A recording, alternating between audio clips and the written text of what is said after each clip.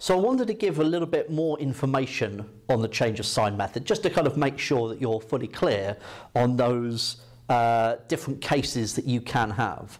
Now, I've highlighted that when we are explaining whether there is a change of sign, okay, there has to be those two bits. Change of sign and the curve is continuous, okay? If you don't have one of those two things, then you can have all sorts of situations appear. Okay, so let's first of all think about um, that initial diagram that I had. Um, you can have a change of sign and it's continuous and you can have one root. Okay, so we had this situation where we could have the curve looking like this and so there is this one root in between. Okay, one positive, one negative. Fine. Can you draw a situation where there would be two roots? Okay, where you've got a change of sign, the curve is continuous, and there are two roots.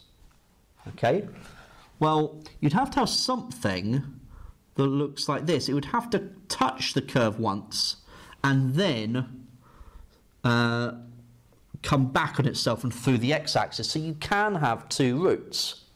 So that means you could also have three roots. So one, two, three. Or you could have four, or five, or six, or seven. Okay. So if the curve uh, has a change of sign and is continuous, uh, you will have at least one root. That's what I've tried to, I'm trying to explain. Okay. So what happens then when one of those bits of information isn't there? Okay, so let's say we don't have a change of sign. What happens then? Does that mean that there are no roots? That's the question. So you could have that the curve does something like this. So there is no change of sign, but the curve is continuous. Okay, um, but there are no roots.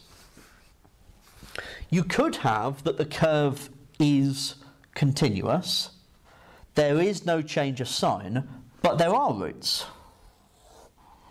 Like that. Both of them positive, the curve is continuous, but there are roots. Okay?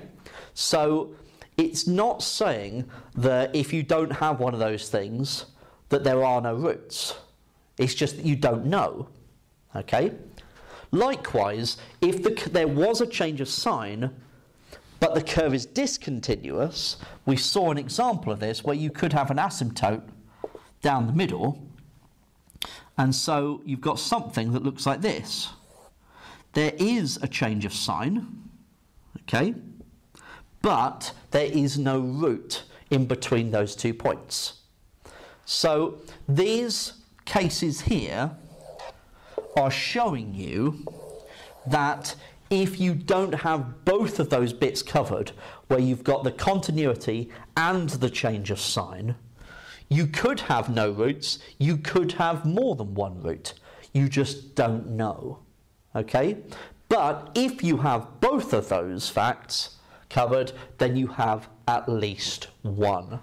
And that's how the change of sign method can be implemented.